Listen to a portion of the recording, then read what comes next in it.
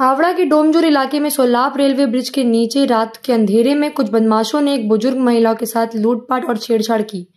बदमाशों ने महिला के गले पर चाकू रखकर उसे धमकाया और जब उसने चिल्लाने की कोशिश की तो उसे मारा पीटा। गंभीर रूप से घायल महिला को हावड़ा अस्पताल में भर्ती कराया गया है। पूरे मामले की जाँच डोमजूर थाना पुलिस कर रही है। इसकी अधिक जानकारी के लिए बने रहिए न्यूज़ लाइन कोलकाता के साथ।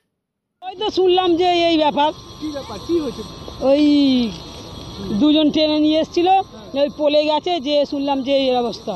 ও গরু আনতে গেছিল বুড়ো মানুষ ষাট বছরের মানুষ তাকে ধরে এরকম করেছে। কখন শুনলেন?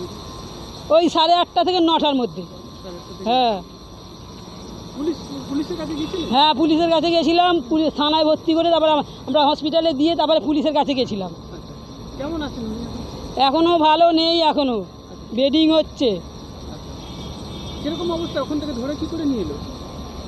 ও একলাই এখান দিয়ে তোলতে তোলতে ঘরে গেছে। আচ্ছা। যে ওখানে একটা পোল আছে পোলে বসে গেছে। যে বলছে আমাকে বাঁচা। অন্য লোককে বলছে। তা আমরা তো রান্না করছিলাম ঘরেতে।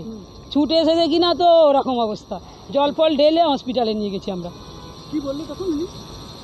তো বলল যে আমাকে দুজন ধরে নিয়েছিল। ধরে নিয়ে আমার বেডিং যাচ্ছে। তারপরে আমরা গা ফা ধুয়ে নিয়ে চলে গেছিলাম।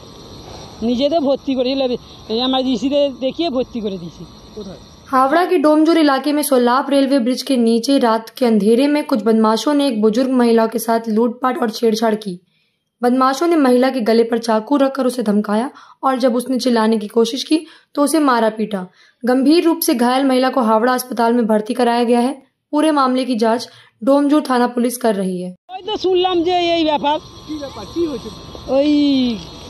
দুজন ট্রেনে নিয়ে এসেছিল ওই পলে গেছে যে শুনলাম যে এই অবস্থা। ও গরু আনতে গেছিল বুড়ো মানুষ ষাট বছরের মানুষ তাকে ধরে এরকম করেছে।